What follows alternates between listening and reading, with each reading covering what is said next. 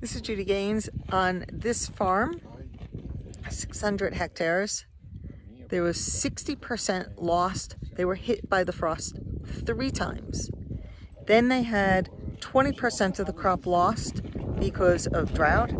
And this is an irrigated farm. And so all they have left is 20%. And these are the trees here. But all lost.